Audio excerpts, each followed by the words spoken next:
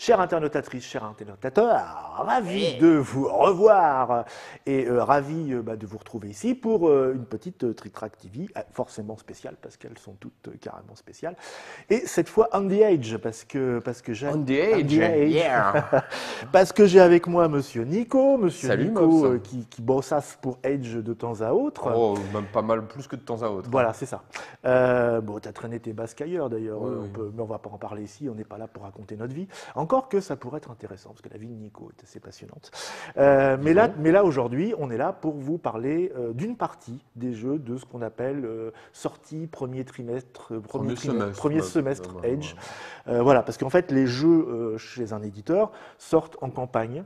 Oui. Euh, campagnes qui vont se les voir étalées sur un certain nombre de semaines, de manière à ce que euh, comment ça, comment ça se Où va-t-il? Non, j'explique, j'explique aux gens comment ça se passe. Quand on produit un jeu, euh, il y a forcément euh, un temps de fabrication quand le jeu, quand le prototype est terminé. Il y a un certain temps de fabrication. Cette fabrication parfois se fait en Europe, mais très De- souvent en De Asie plus en plus en Asie. de oui. plus en plus en Asie. Et évidemment, ça prend du temps pour arriver. Et donc, le, le travail d'un éditeur, c'est aussi de gérer les flux et les reflux. De pas, quand, quand Edge, c'est aussi un éditeur et c'est aussi un distributeur. Enfin, nous sommes Donc- associés à un distributeur. Associé à un distributeur. Oui, c'est vrai. Millennium. Nous sommes dans les mêmes locaux, mais ce n'est pas le même personnel. ce ne- c'est pas, le- c'est pas la même entreprise. oui.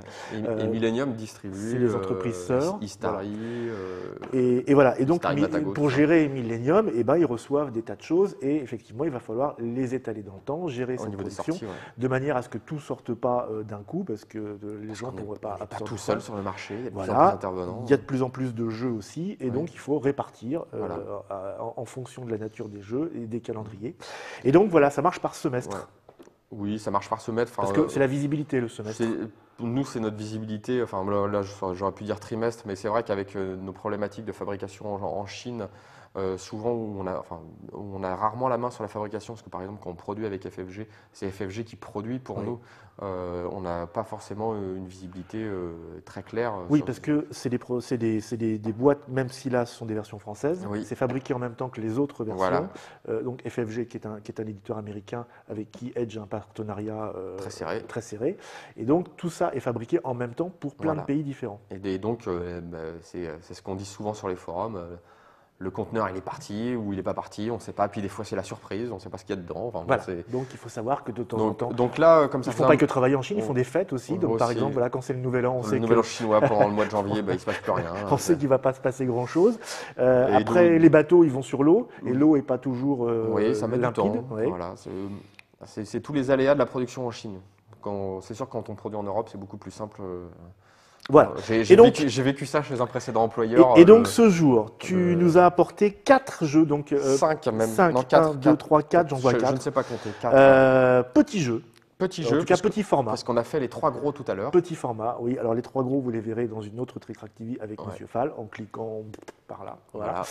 Euh, et donc là, aujourd'hui, nous allons vous parler. Alors on va pas jouer, hein, on va vous les présenter. Ouais. C'est pas des, c'est pas des. Donc, comme je parties. dit aussi, c'est pour éviter de faire des erreurs des règles. Je vais faire qu'un survol. Comme ça, tous ceux qui me, qui me Parce que- fustigent parce que je l'explique super mal, et ben voilà. Il y en a qui sont arrivés il y a pas très longtemps. Donc c'est vrai que le temps de euh, lire les règles, de Mm. faire des parties. Surtout faire des Euh, parties. voilà, c'est ça. Quand on présente des, des jeux, effectivement, il vaut mieux avoir un petit peu de- Mm. d'habitude. Et parfois les sorties, eh ben, tu les reçois au dernier moment. Parce Oui, que, alors c'est- ça fait long- plus longtemps que je les ai. Donc mais, euh, Avalon, qui est déjà sorti. déjà sorti. Voilà. Zombie, le jeu de cartes. Le jeu de cartes. Le jeu de cartes. Attention, Déjà- c'est déjà pas, sorti. c'est pas le même zombie qu'avec les, les toutes petites figurines. Oui, Gloom, déjà sorti. déjà sorti. Nous tournons la fin mars de mi- 2014, donc Voilà. euh, The Bloom est déjà sorti. Et enfin, Lien de sang. Ton jeu favori, je sais que tu l'aimes Euh, beaucoup. bah, Lien je- de sang je sais- qui, non, qui je peux pas- pas, sorti. Je ne peux pas dire que je l'aime beaucoup parce que je ne l'ai jamais Ah. pratiqué. J'ai, comment dire, un certain, euh, une certaine ironie par rapport euh, Au design. au, au game design, Voilà, c'est ça. dont on pourra reparler. Donc ça, ce- celui-là arrivera certainement avril-mai, sans plus de date. D'accord. Alors on commence par quoi? Avalon? On commence par Avalon. Allez, je mets le. Ça c'est le le, devers moi. Ouais, c'est le devers moi. Envoie le devers, pas- devers Tiens, moi plutôt. Donc Avalon, je lis. Avalon, 14 ans et plus. Alors, Ouais, c'est oui. facile. Tous les jeux qu'on va vous présenter là sont pour 14 ans et plus. Ce qui ne veut pas dire, ce qui ne veut pas dire que certains ne peuvent pas être joués. Donc les règles sont compliquées. Je plus pense que jeune. C'est plus une histoire de. C'est une histoire de droit américain. Ouais, parce c'est une que- histoire de. euh, genre, il y a ce petit morceau que votre enfant de 10 ans peut avaler en le mâchouillant, Oui. s'étouffer. Donc, comme on a mis 14 ans, Enfin, comme les Américains ont mis 14 ans, ils se prémunissent. euh, du- Donc 5 à 10 joueurs. Donc Voilà. là, on est dans du party game. on est sans dans du doute, hein, party game, hein. ouais. 30 minutes party game léger Oui. et court. Et, euh, eh ben, Avalon, en fait, peut-être vous le savez déjà, euh, vous qui vous intéressez à ça, mais ça fait parler d'un autre jeu Oui. également. Parce qu'en fait, le nom complet, c'est The Resistance en Voilà. tout petit Avalon. The Resistance Avalon. Donc, j'étais Euh, venu faire une Trick Track TV. On était 5 ou 6 pour faire la Trick Track TV sur The Resistance. Ouais, j'ai envie de dire Gloops, Mmh. Avalon. Non, c'est pas. Euh, identité secrète, déduction, mensonge. Mais c'est tout toi, ça. Voilà, c'est ça. J'adore mentir. Alors, raconte-nous un petit peu ce que c'est. Eh Donc, bien- en fait, Résistance, c'est un autre jeu. Ouais, Resistance, The Ou Resistance. c'est le même jeu. Alors, The Resistance, c'est, euh, on va dire, le, le premier jeu fait par Dunnex Ridge euh, sur ce système-là, euh, qui est donc un système de, euh, d'identité, où on va avoir une identité secrète. Il y a deux camps qui s'affrontent et puis il y a une victoire d'un camp ou de l'autre. Euh, donc, le thème de The Resistance, c'était un monde futuriste avec un pouvoir oppressant. Euh, là, on va reprendre un petit peu la même mécanique avec des, euh, des petites nouveautés, euh, mais dans l'univers un peu plus joyeux, peut-être, de euh, la table ronde. Oui, enfin, c'est joyeux pas tout le temps. hein. C'est joyeux pas tout le ça, temps. Ça se finit mal quand même. hein. L'histoire se finit mal. Donc là, le matériel est exactement identique à, à- à The Resistance. Ouais. On va choisir une fiche euh, de, de mission, entre guillemets, de quête. Là, on parle de quête. hein, Qui est pour tout le monde. pour ça, tout le monde, qui dépend du nombre de joueurs. hein. Ouais, Donc elles sont recto verso. Ouais, Donc là, par exemple, celle-ci, c'est si on a 5 joueurs ou si on a 6 joueurs. Que- où est-ce que tu vois ça? Là. Ah oui, 6 joueurs, d'accord. Deux serviteurs de Mordred, 5 joueurs, deux serviteurs de Mordred. Ah oui, le- les deux serviteurs de Mordred, c'est les méchants. Voilà. Et donc là, par exemple, on a euh, une 8 joueurs avec 3 serviteurs de 8 Mordred. joueurs, 3 serviteurs de. Et de- bon, on est dans du, on est dans du jeu euh, à la, à la loup-garou-like. on peut Voilà, c'est C'est oui. lui, qui- lui qui fait référence. Oui, oui. C'est-à-dire, on, on interprète, enfin, on a un rôle. Voilà, Euh, secret. est, c'est, pas dans l'interprétation, sauf pour ceux qui aiment jouer roleplay, euh, et, euh, et un objectif. Voilà. Et parmi ce, le groupe, il y a des gens qui sont pas du même groupe. Voilà, c'est ça. Donc, suivant le nombre de joueurs, on a un certain nombre de quêtes à accomplir. D'accord? Euh, À chaque fois, elles sont en nombre impair. Donc, euh, la partie va être gagnée euh, pour les fidèles vassaux d'Arthur. Je le montre là. là je peux... Tiens, là, voilà, ici, voilà. Le fidèle euh, vassal d'Arthur. Alors, il y en a C'est marqué dessus en plus, le fidèle Il y en vassal a plusieurs. d'Arthur. hein, ils sont tous beaux. Ah oui, ils sont tous euh, beaux. Ils ont tous un dessin oui, différent, ça, hein. oui. Pour qu'on puisse s'identifier.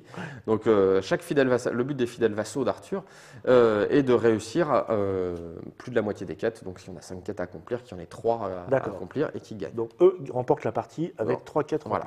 Évidemment, il n'y a en pas face, que. il y a les salauds. Alors, qui sont en, en moins grand nombre. Sont en la moins grand nombre. C'est la minorité. qui sont Les méchants de l'ombre, les serviteurs de Mordred. serviteurs de Mordred. Voilà, qui sont tout de suite beaucoup plus patibulaires. Voilà, c'est ça. Ouais. Et donc, eux, ils gagnent s'ils font échouer trois quêtes. Si on est dans une situation à cinq quêtes, s'ils font échouer la moitié des quêtes. Donc c'est ça. En fait, cha- chacun, euh, Ouais. les, les uns doivent faire trois quêtes, les Ouais. autres doivent faire échouer Ouais. euh, trois quêtes. Ok. Avant de rentrer dans le, le détail euh, de la mécanique, euh, enfin de la super mécanique, c'est la grosse nouveauté par rapport à. Alors oui, j'allais te dire, quel, que- quel int- enfin, bon, on peut préférer effectivement euh, le, Il y a le- deux le personnages Moyen Âge obligatoires. légendaire. Il y a deux personnages obligatoires dans, dans Avalon Alors, Un de chaque Merlin, côté. l'enchanteur, Merlin et l'assassin. connaît le mal, doit rester anonyme. Donc, Merlin, au tout début de la partie, il y a une phase Ouais, où les, euh, euh, on ferme les yeux comme un loup-garou, ouais. euh, où euh, les, euh, déjà les, euh, les serviteurs de Mordred vont se reconnaître. En fait, euh, on, on va dire euh, serviteur de Mordred, ouvrez les yeux. En fait, tout le monde doit tendre le poing. Serviteur de Mordred, euh, mettez le poing, euh, mettez, euh, levez le pouce. Serviteur de Mordred, ouvrez les yeux, comme ça tout le monde se reconnaît. Fermez le pouce euh, et, re- et refermez les yeux. Hein. Eh bien, euh, Merlin, lui, connaît. Merlin, en fait, avant, quand les, les- les serviteurs de Mordred vont fermer les yeux, mais ils vont rester le pouce en l'air, et Merlin va ouvrir les yeux à ce moment-là, au tout début de la partie, D'accord. et il va les connaître. Ah, C'est-à-dire que Merlin les connaît, mais eux ne connaissent pas Merlin. Voilà, c'est ça. C'est super important. C'est un genre de petite fille de loup-garou. Donc, c'est une petite fille. Ouais. Sauf qu'il ne doit pas dire, euh, moi je suis Merlin, je sais qui est un tel, parce que l'assassin qui est là, Ouais. donc qui est obligatoirement en jeu, c'est à la fin de la partie, si par exemple les, euh, les, euh, les chevaliers, les serviteurs de Arthur ont réussi euh, à, à trois quêtes, Ouais. à la fin de la partie, il y a une ultime chance pour les méchants de gagner, c'est que l'assassin, enfin les joueurs se concertent entre eux, et l'assassin dit, eh bien je tue un tel parce que je pense que c'est Merlin. D'accord. Parce qu'on ne se tue pas tellement dans ce jeu-là, contrairement au loup-garou. Non, on se tue pas. On reste tous ensemble. En fait. On, fait des quêtes, mais on ne s'assassine pas. Donc Sauf euh, le petit père Merlin qui, si il la ramène un peu trop. Voilà, euh, donc euh, c'est un peu l'ultime chance, c'est un petit équilibre parce qu'en fait, c'est vrai qu'avec des joueurs un petit peu habitués, souvent, alors souvent en situation à 5-6 joueurs, il était facile de, de déterminer qui étaient les vilains et donc à un moment, si au- au- à la deuxième ou troisième quête, parce qu'il y a eu des maladresses, etc., comme j'ai pu faire la, la Trick TV, qui, est cette. c'est Morgane, Viviane. c'est Viviane, la Ouais. fée du lac. Ouais. ouais, ouais.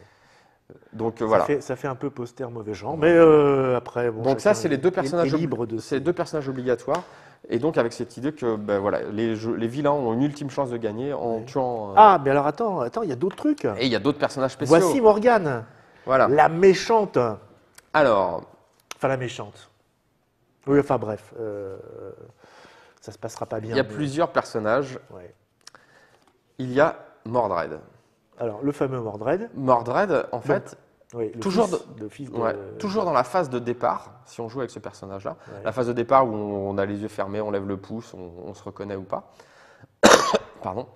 Mordred, en fait, avant que Merlin n'ouvre les. euh, Il écoute Rammstein, lui. hein. ouais, je pense, ouais. Ou des trucs, des trucs style euh, Behemoth, un groupe de black metal euh, polonais. Euh, donc, euh, Mordred, quand il se, quand il va fermer son pouce avant que Merlin ne regarde qui sont les agents du mal. C'est-à-dire que c'est un agent du mal, mais on- Merlin ne l'a pas identifié. D'accord. Il n'est pas si malin que ça. hein. Oberon, Oberon. en fait, lui, il est agent du mal, mais c'est un indépendant. Donc, euh, est agent du mal. Ah bon, d'accord. Ok, bah pourquoi pas. hein. et donc, en fait, euh, lui, il ne se révèle pas au début.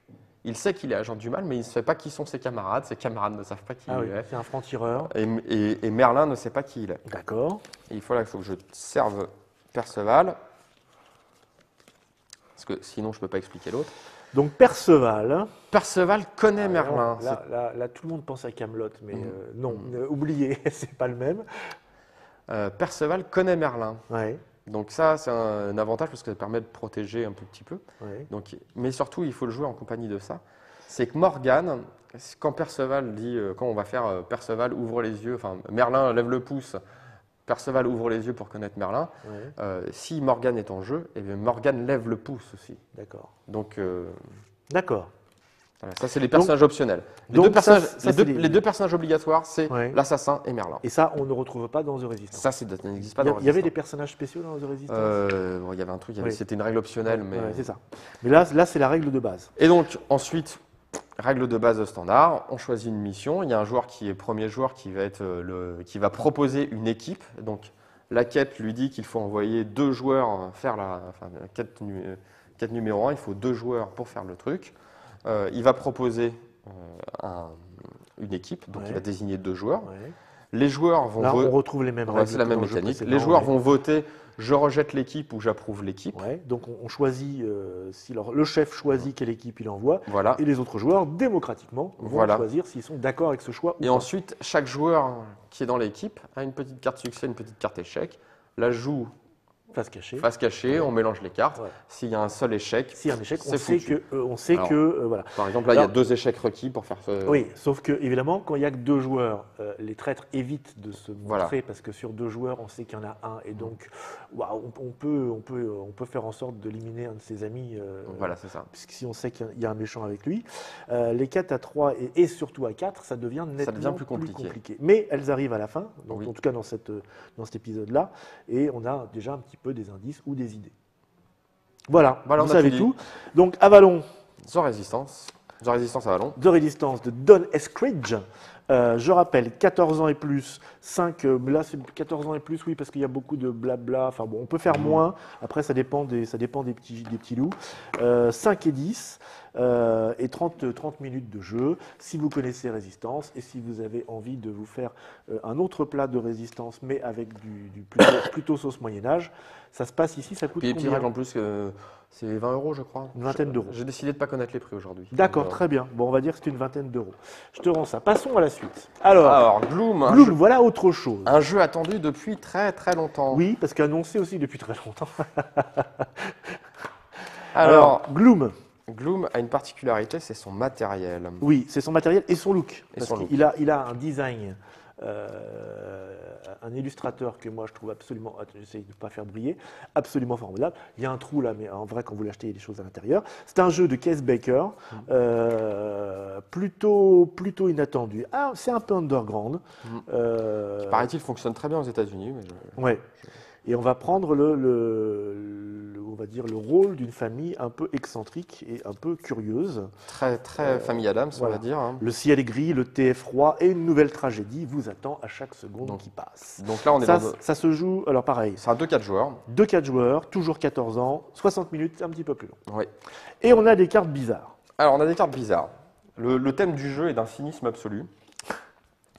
Le but du jeu, c'est de. Je vais en montrer quelques-unes. Alors ça, c'est des familles. Donc on va, chaque joueur va avoir une famille de quatre personnages.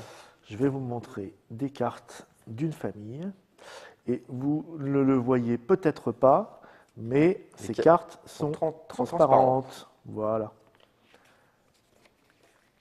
Donc on est dans le look un peu famille Adams. Ah ouais, famille Adams Ouais. complet. hein. ça aurait pu être dessiné par le, le gars qui fait la famille Adams. Je ne sais plus comment il s'appelait déjà. Donc le but du jeu, par l'intermédiaire des autres cartes, c'est de faire subir plein d'afflictions à votre famille Ouais. ou éventuellement de, de- de- de redonner euh, confiance en soi euh, aux autres ouais. pour les tuer. Oui, c'est-à-dire, euh, on veut se débarrasser de notre famille. On veut se débarrasser Ouais, de notre famille avec un maximum d'afflictions, un maximum de points de pathos. Parce que à la, la partie va se terminer quand une famille est complètement décimée. Oui. Parce que les personnages, tu peux les retourner, ça y est, ils sont morts. Ah bah oui, ah bah on va faire ça, tiens, regarde, alors, la petite fille, et paf, voilà. Et donc, euh, à la fin de la partie, euh, quand la partie s'arrête, parce qu'il y a une famille qui est complètement décimée, on va C'est calculer, la condition d'arrêt de, Ouais, de- c'est la condition d'arrêt. on va, euh, on va calculer le nombre de points de pathos qu'il y a par, par mort. Les gens vivants ne nous intéressent pas. Non, bah c'est bon vrai, monsieur. tellement ennuyeux. Ouais. voilà, donc c'est un joyeux cynisme. Et l'idée, c'est que vous avez une carte, vous, avez en, en- vous, vous jouez avec cinq cartes en main, vous les repiochez euh, Ouais. régulièrement. C'est qu'à chaque fois, attendez, à chaque fois que on vous a jouez des une cartes carte, en main, ah non, on voit pas derrière. hein. Ouais. On, voit, on voit juste. ouais, euh, tu les je poses je vais, je vais retirer la famille, là, je vais te redonner Tu les ça. poses sur les personnages et par transparence. Alors, on va prendre, je vais reprendre la petite fille qui va revenir à la vie pour l'occasion. Et voici une carte. Voilà, ça se présente comme ça, par exemple. Je vais en prendre une autre et vous allez voir que si on la met par-dessus, on donne de nouveaux pouvoirs à cette petite fille qui, qui va changer la carte sans changer le personnage. voilà. Et si j'en rajoute une autre, par Voilà. exemple celle-là, vous allez voir que le texte dessous a changé, mais une troisième valeur vient recouvrir les autres et par transparence, maintenant, elle a quatre, trois attributs dont je ne sais pas encore à quoi ça sert. Et puis donc, il y a les effets de jeu qui sont dans les petites Oui. box, dans les petits box de texte, là, dans les petites boîtes de texte. Donc ce sont des cartes évolutives. Et donc, ce sont des cartes évolutives, voilà. Euh, et le jeu, étant euh, le jeu des accidents malencontreux et des graves conséquences, encourage à raconter une histoire. Ah, il y a du storytelling, comme on dit. ouais, être dans le storytelling, euh, la narration, Ouais. pour se mettre dans l'ambiance. Je ne vous cite que le nom des euh, quatre familles. Ouais. Il y a les châteaux besognards, avec un petit texte d'ambiance. La famille La Ciguë, Ouais. la famille Le Guet d'eau sombre et le malheureux manoir des malformations, qui est en fait une ancienne troupe de cirque. D'accord. Bon, et donc là, il y a plein d'effets sur les cartes. Alors, Ouais. en gros, on a quoi Cinq cartes en main, tu dis, au départ? Ouais, Et puis. tu peux remonter euh, jusqu'à cette carte en main, d'accord. mais voilà. un, un tour de jeu, c'est quoi? C'est je pose des Un tour de jeu, personnages, tu je- vas, tu vas, alors, tes personnages sont devant toi de toute Ouais, façon au tous. départ. Tous tes Ouais, personnages sont devant D'accord. toi. Et tu vas euh, jouer ou défausser de- deux cartes à ton tour de jeu, Ouais. Voilà, tout simplement. D'accord. Puis tu vas remettre ta main à, Et les- à on applique les effets au, Et on moment, applique les où- effets, au voilà. moment où elle joue. Et donc, ça va avoir des effets euh, soit chez nous, soit chez les autres. Ouais. Je sais pas, je vais en prendre. Je vais prendre au hasard là. Euh, vous pouvez immédiatement piocher ou défausser cette carte quand celle-ci est jouée. Mais là, ça donne un attribut plus 15. Là, il y a des attributs moins 15, moins 10. Votre voisin de gauche peut choisir deux cartes au hasard dans votre main et les défausser immédiatement quand cette carte est jouée. Et donc le truc important, c'est qu'il y a des cartes qui s'appellent mort, prématurée. euh, mort prématurée, c'est ce qui permet de tuer les personnages. Alors les morts prématurées, on peut en jouer qu'une par tour. Ouais. Et voilà. D'accord. Et on met des transférer, euh, voilà, transférer une mort prématurée d'un personnage mort vers un personnage vivant doté d'un score d'estime de soi négatif. Il y a des scores d'estime de soi négatifs, c'est absolument merveilleux. Donc, mort euh, sans souci, ça, c'est terrible. Il est complètement mort sans cynique, il ironique est mort et sans second souci degré. et il vaut zéro partout. c'est juste le drame. D'accord. Et euh, ouais, j'imagine que quand on est mort, on peut plus faire grand-chose. Et donc le but, c'est de, c'est pas de tuer les personnages des autres. hein. Non. C'est de tuer. Ou, ou alors éventuellement de les tuer alors qu'ils sont bien. Par exemple, si je leur mets euh, Ah oui. une mort sans souci, une belle mort. une belle mort, c'est Rien de juste plus triste. C'est juste triste. quoi. Bon, très bien. Donc ça s'appelle Gloom. Je vous remontre la boîte. Donc, alors pa- pareil, une vingtaine d'euros, ça, Ouais, non? voilà, C'est ça, voilà, ça. on ne connaît pas les prix, on va vous, vous, les, vous les découvrirez et puis ça va changer suivant l'épicier que, que, que vous utilisez.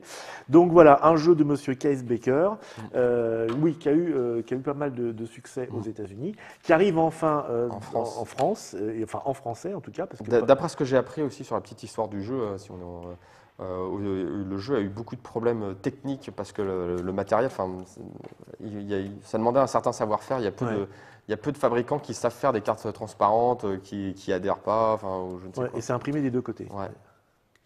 Et oui, et, et c'est ça. Bon, on, a, eu- on a déjà eu des petits jeux transparents, notamment chez, Il y chez- a les vitrailles chez, Euh, chez Cocktail. Chez Cocktail Games et puis chez Ferti aussi. euh, voilà. Donc, euh, mais là, ça, c'était un des premiers, je crois, à, à utiliser ce principe-là, si mes souvenirs sont bons. Euh, ensuite, Et puis, euh, je sais que dans les, dans les cartons, il y a un Cthulhu Gloom qui arrivera peut-être. euh, un Cthulhu Gloom, oui, c'est absolument merveilleux, qui est déjà sorti aux États-Unis. qui est déjà sorti aux États-Unis Voilà. et donc qui devrait être francisé. euh, alors, euh, on ne sait pas quand. C'est ça? J'ai pas de dés pour vous dire. Zombie, Bon. le, le jeu de cartes, déjà Allez, sorti aussi. on, on reste dans la mort. euh. Zombie, euh, zombie, euh, Zombies, oui, exclamation, de- exclamation, de, chez exclamation. Twilight euh, Creation. Voilà. Et tout le monde, alors tout le monde doit connaître Zombie, le, le fameux Le petit, jeu avec ses 7 ou 8 extensions, ouais, l'extension plein, humain, plein de figurines. les figurines optionnelles, les figurines phosphorescentes. Voilà, qui est un jeu dans lequel on joue une équipe de, De survivants, de survivants et on doit, traverser. on doit traverser la ville pour se rendre vers l'hélicoptère. Voilà. On reprend ce thème-là. hein. Et il y a des marées de zombies Voilà. qui déferlent euh, suivant des conditions diverses et variées. Sauf que là, évidemment, comme ça s'appelle le jeu de cartes, j'ouvre. Ah, c'est dingue, des cartes. Et pas de figurines du coup. Non, et un dé quand même. Et Ah. un dé quand même. On est dans, dans la méritrage. Alors là, euh, c'est pareil. Je vais vous montrer la tête que ça a. Alors, ce qui est important, c'est qu'il y a une utilisation astucieuse des cartes. Les cartes sont recto-verso.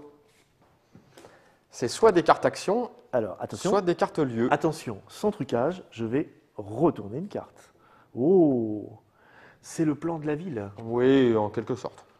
En comment ça, en quelque sorte, tout va bien C'est des Non, rues on- avec des bâtiments. Ouais, mais on ne fait pas de plan. On fait pas de plan On fait pas de plan. C'est juste euh, pour ça sert à quoi alors? Eh ben, Parce que les cartes ont une double utilisation, Ouais. qui est euh, soit c'est des cartes actions, soit c'est une carte lieu, tout simplement. D'accord, ce sont des lieux, mais euh, oui, on les assemble pas façon non, puzzle. on, non, non, on les D'accord. assemble pas façon puzzle. Bon, alors comment ça se passe ça? Parce que moi, je me rappelle avec les figurines comment ça marchait.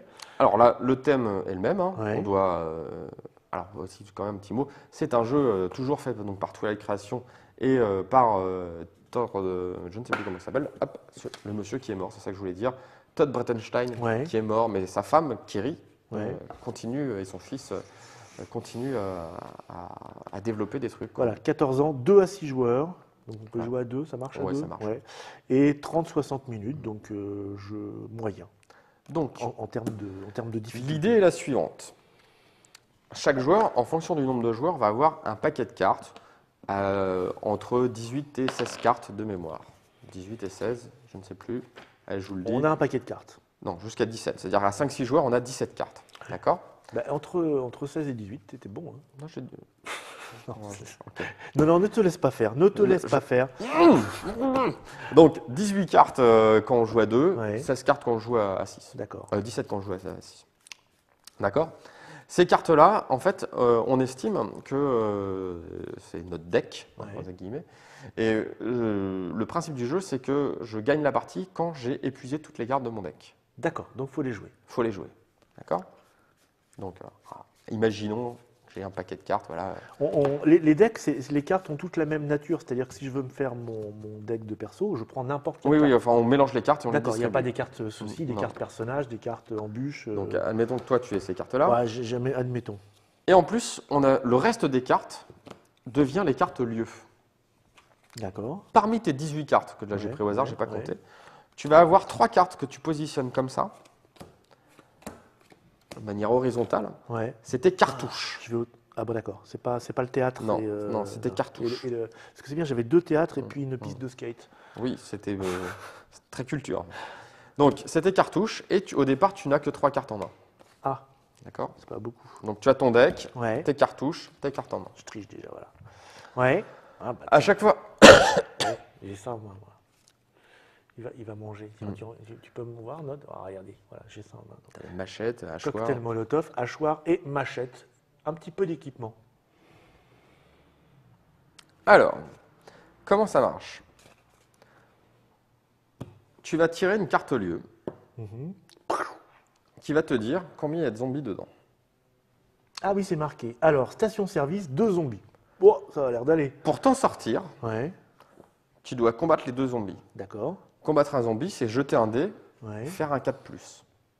Ah ben, je viens de le faire, dis donc. Mais euh, d'accord, oui. D'accord Tout simplement. Alors, attends, attends, ça tombe Et super là, bien. tu peux jouer des cartes. Ouais, attends, ça tombe super bien. J'ai un cocktail Molotov. Et, Ouais. euh, Qu'est-ce que je lis sur cette carte? On l'a pas fait exprès. hein. Jouez cette carte quand euh, devant vous quand la station-service est en jeu. Hum. Incroyable. Incroyable. Défaussez cet objet pour ajouter plus 2 au résultat de tous les jets de combat contre les zombies situés dans le bâtiment où vous vous trouvez pendant un tour entier. C'est une arme. Voilà. Donc là, je suis là, et hop, les zombies explosent. Voilà. Mais tu le fais deux fois parce qu'il y a deux zombies. S'il y avait trois zombies, Ah, tu jetterais. C'est par zombie. Oui, c'est par zombie. C'est un cocktail Molotov Oui. par zombie, c'est pas très économique. Non, mais là, c'est là, c'est pendant tout ton tour. Là. Oh bah, Mais tu mais as le bonus pour le. voilà. Donc là, il n'y aurait pas de problème. Ouais. Mais et, euh, Et donc ça me force à jouer des cartes, parce que là j'ai joué une carte, donc Oui. j'élimine. au ce qui est important, c'est que tu vas piocher des cartes de ton deck. Ouais. Donc le but du jeu, c'est de finir le deck. hein. Ouais, ouais. Que quand tu vas réussir à tuer les zombies. D'accord. Par contre, par contre, si tu ne réussis pas, si tu fais 3. Non mais là j'avais un plus 2, ça marche enfin, euh, t'as pas, t'as pas joué ça. T'as pas joué ça. Tu fais, tu fais. En fait, tu vas être obligé d'utiliser les cartouches, tes cartouches, pour euh, com- combler le score jusqu'à 4. Donc, si par exemple tu avais fait 3, Ouais. tu utilisais une cartouche, Mais j'en ai 4. 3. Ouais, au début, mais ça se recharge. Ah, ça se Et recharge. surtout, tu la remets dans le deck. Quel contretemps fâcheux. Voilà, si tu, si tu tues de cette façon, tu vas quand même piocher des cartes. Ouais, Piocher. Par contre, si tu n'as plus de cartouches ouais. et que tu dois. Enfin, tu vas piocher autant de cartes qu'il faut, mais dans la pile de lieux. Que tu vas mettre dans ton deck. On va virer les lieux, d'accord. Ouais. Et, Et si tu arrives au bout du lieu, c'est que t'es pas, c'était pas fini, ouais, t'es pas sorti de la ouais, lieu. t'es pas sorti de la Ouais, merde. Et puis surtout, quand tu tires des cartes ici, tu ne. euh, D'accord. Tu ne, Ça y est, ça y est, je pense que là on a bien tu, compris tu le... ne, tu ne pioches plus de cartes de ton On a, tu on a bien compris le principe. Voilà. Donc effectivement, le thème est exactement là. Et avec ce système de pioche, de défausse et de tas de, de lieux, on retrouve le- un, un mécanisme très différent, Voilà. mais qui permet toujours d'avoir cette sensation de s'échapper et d'affronter des hordes. Alors moi là, c'était pas une horde, c'était c'était deux zombies, un zombie, oui, trois zombies. Donc là, pour le coup, ils arrivent euh, par petits, par Ouais, pas, pas Mais comme à chaque fois, il faut faire le petit jet de dés qui va bien. Voilà. Et Effectivement. puis surtout, euh, c'est euh, c'est la, enfin, c'est la différence. Quoi, tu vois, si, tu, si tu fais 1, ouais. il faut, que tu, euh, faut que tu combles 3 Et, points. et alors, ce tas-là, c'est le tas de ville pour tout le monde? Oui. Ah oui, ça veut dire que si ça, on arrive au bout, tout le monde a perdu. Euh, je ne veux pas dire de bêtises. Bon, Est-ce que j'arriverai à dire des bêtises euh, C'est possible, hein, c'est possible. Allez, alors, je sais pas, moi je verrais ça comme ça, mais peut-être euh, on a des tas individuels. Enfin bon, en gros, on comprend, on comprend ce qui se passe. hein. eh bien, je ne le retrouve pas. Voilà, je ne sais, je ne sais plus. Et ben vous lirez les règles. De toute façon, Voilà, on n'est pas là pour faire des parties. On est là pour vous expliquer en gros comment ça marche. Là, a priori, moi, j'ai compris de quoi il retournait, et, euh, et on, et on jouera à ça plus tard. Parce que ça, ça me plaît bien. Et en plus, là, pour le coup, le, le look. euh, Le look le- euh, à la couverture de film, ouais. là, vraiment sympa. le look me plaît bien, euh, me plaît bien aussi. Donc zombie, le jeu de cartes, un dernier zombie pour la route, j'achète. Et le dernier, donc, Et le dernier, ton préféré, les liens de sang.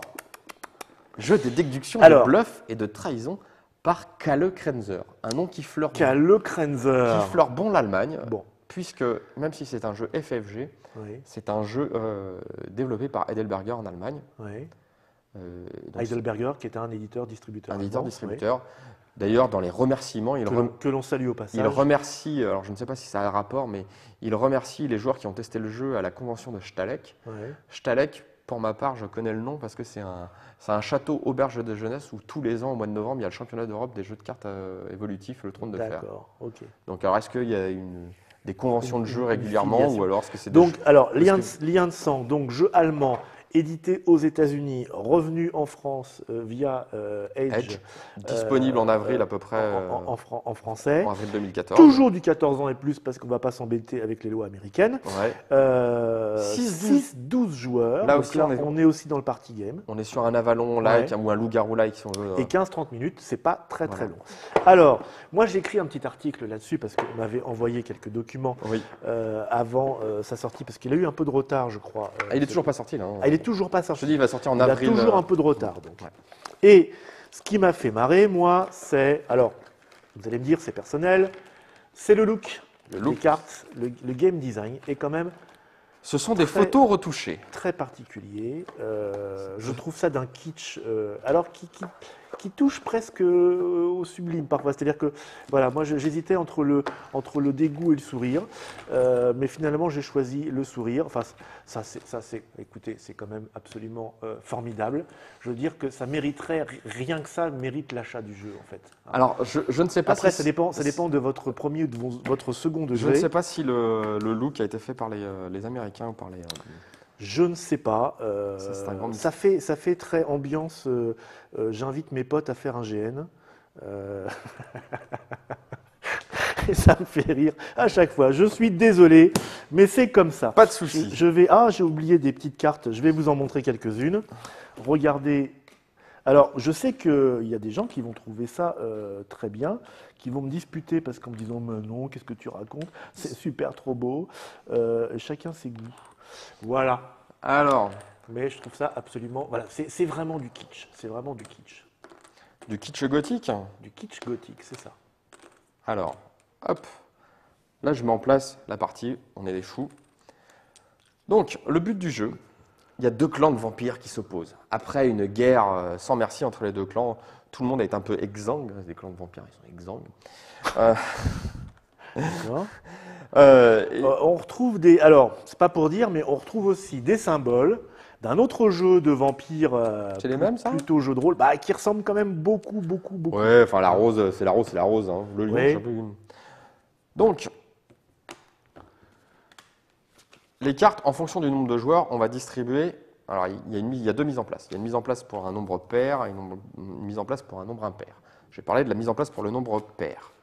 On va distribuer un, un nombre de cartes euh, euh, égal au nombre de joueurs Ouais. avec la moitié de- du clan de la rose et la moitié du clan du. Je plus leur nom, enfin, l'autre- clan, le clan du lion, le clan du tigre. D'accord Le but du jeu pour euh, les, les deux clans, enfin l'un des Mhm. deux clans, c'est de capturer le, euh, le chef du clan adverse. D'accord Mhm. Qui c'est le chef?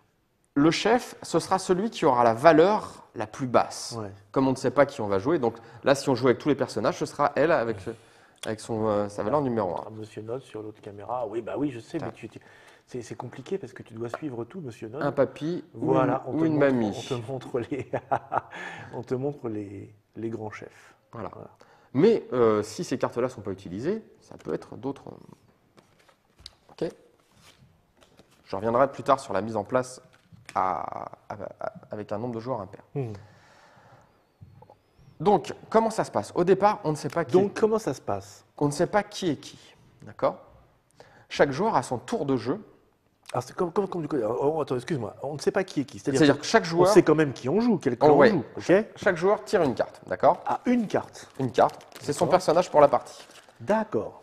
Donc, on interprète Ouais. un de ces personnages. On a cette petite carte indice, là, regarde, qui est une Ouais. découpe spéciale. Parce que quand même, on va donner un Il y a indice. une découpe, il y a une découpe spéciale. On peut mettre son doigt dedans. On va montrer un indice à son voisin de droite ou de gauche, je sais plus, enfin l'un de ses voisins, pas les deux. On va lui montrer ça. Ça lui donne un indice. Bah, c'est un Ça lui- indice. Si, je- si tu joues bleu, je savais que déjà que tu jouais bleu. Non, parce que tu le sais pas, on distribue la carte comme ça, mon bon ami. Ah, d'accord. On On n'est pas sûr de savoir qui on va avoir. On peut être bleu tous les deux? Oui, on peut être bleu tous les deux. Ah, d'accord. Donc, face Ah bah, cachée, on dis te distribue une carte, Ouais. hop, et après, tu montres quand même à ton voisin, tu dis, bon, euh, là, l'indice que tu as, c'est que normalement, je suis de cette couleur-là. D'accord. Tout en sachant Donc, je sais de quel clan tu appartiens, même si je ne sais pas encore qui tu es. suivant les personnages, là, on regarde celui-ci, Mhm. l'indice qu'il montre, parce que c'est le fou, c'est le jester. Il dit qu'il est rouge, en fait, Mhm. gros malin, alors qu'il est Ah, il est.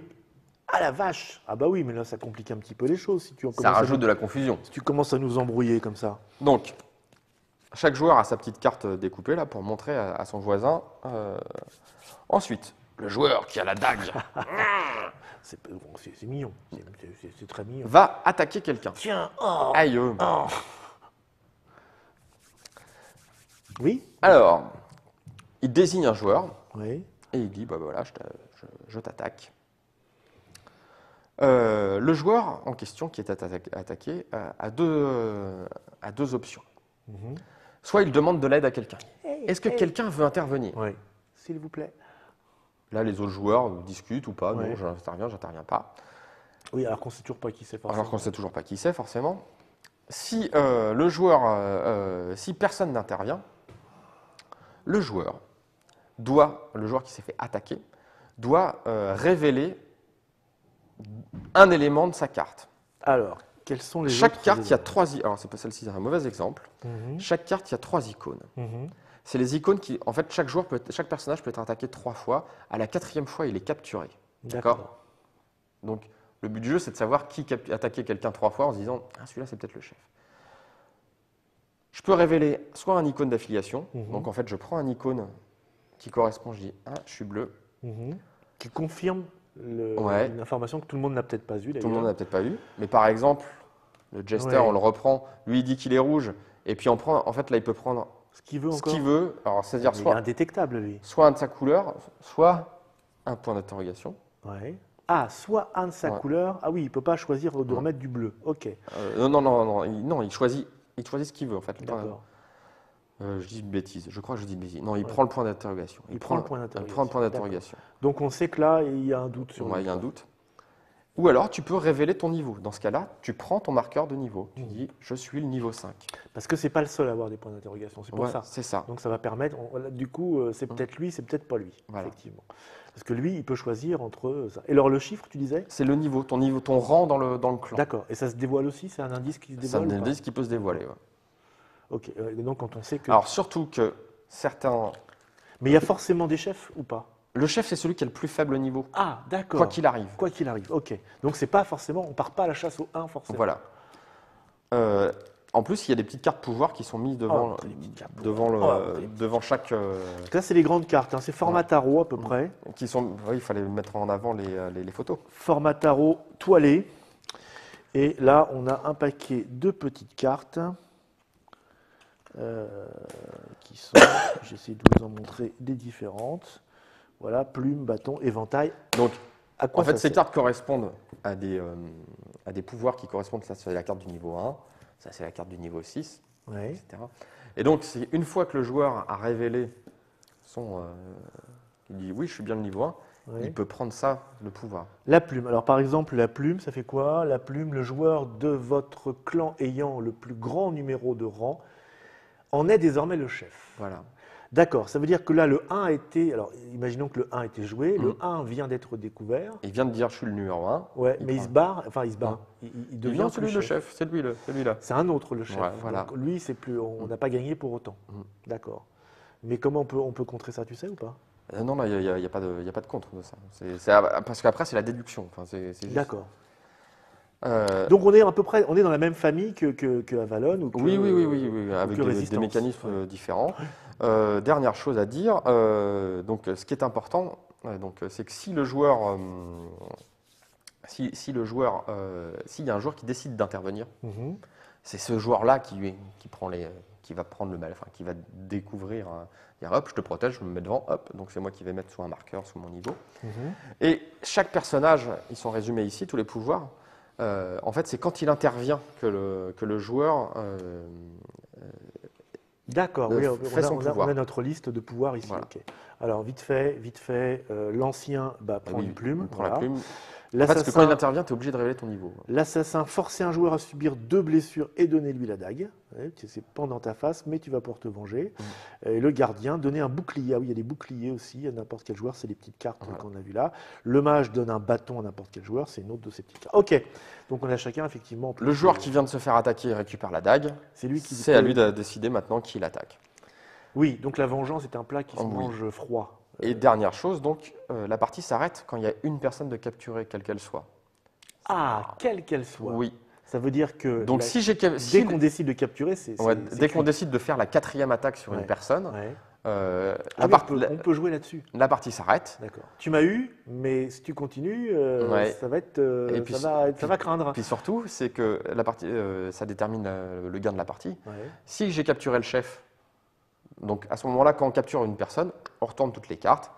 Si on a bien capturé le plus faible ou le plus haut, si la plume a été jouée, le- notre clan a gagné euh, la partie. Par contre, si on a capturé le mauvais, Bon. on a perdu. Écoutez, moi, alors de ce que, de ce que j'en vois et de ce que j'en avais déjà compris euh, auparavant, euh, on est dans un jeu d'une facture assez classique avec rôle, euh, déduction, mensonge. J'ai pas, j'ai pas parlé de, de la. Tu n'as pas parlé de quoi? J'ai pas parlé de Non, mais tu es là l'inquisiteur. pour parler. Allonge-toi. Allez, l'inquisiteur, pour ceux qui connaissent ce genre de jeu, on va dire, c'est là, c'est l'appariement en nombre impair.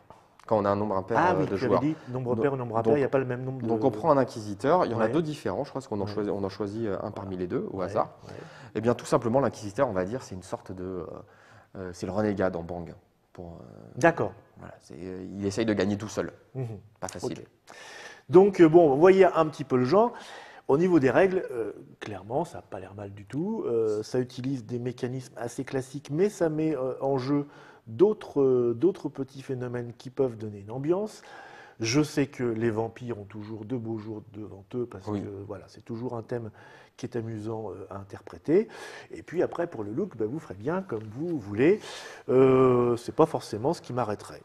En- Encore que, je ne sais pas. Enfin bref, le matériel en tout cas, voilà, euh, même, même si vous aimez ou n'aimez pas ça, le matériel, en tout cas les cartes et tout ça, ont l'air de très bonne qualité. C'est un point à noter, ce n'est pas toujours le cas. Euh, il faut le dire, monsieur Nico. Euh, non, c'est bon. Maintenant je me débarrasse de toi. Avons-nous terminé avec ce- On a- cette petite mise en bouche? On a terminé. Voilà. Bon, ben voilà. Donc vous savez, les, petits, les prochains petits jeux qui sortent chez Edge, qui- premier... euh, Les autres sont déjà sortis. Avalon, Gloom et, Voilà. Zo- et Zombie sont déjà sortis. Donc, euh, on reviendra peut-être après sur euh, plus précisément sur, euh, sur un de ces jeux. Là, c'était pour vous montrer un petit peu euh, ce qui vous attendait en ce moment. Euh, J'espère qu'il y en a qui vous, qui vous ont euh, un petit peu alléché. Euh, et puis, eh ben, écoutez, euh, Monsieur Nico, merci de nous avoir présenté tout ça. Merci à vous de nous avoir accompagnés jusqu'au bout. Euh, tu lâches cette dague parce que ça m'énerve. Et on se retrouve dans une prochaine Trick Track TV. On parlera de n'importe quoi si je suis là. Ciao. Salut